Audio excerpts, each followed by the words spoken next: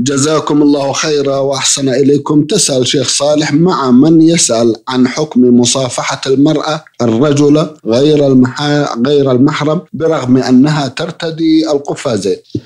هذه المسألة تكرر السؤال عنها والإجابة عنها في كثير من حلقات هذا البرنامج صحيح. وكأنها عادة مستفحلة في بعض الأقطار أو في بعض البلاد وهي عادة محرمة يجب تركها فلا يجوز للرجل أن يصافح امرأة ليست من محارمه. لما في ذلك من الفتنة. حتى ولو كان من وراء حائل من وراء القفازين أو من وراء الثوب هذا لا يجوز. لأن النبي صلى الله عليه وسلم لم يكن يصافح النساء ولم يكن يبايع النساء إلا بالكلام لا بالمصافحة. وما مست يده صلى الله عليه وسلم يد امرأة لا تحل له قط. وقد قال الله تعالى لقد كان لكم في رسول الله أسوة حسنة. نعم.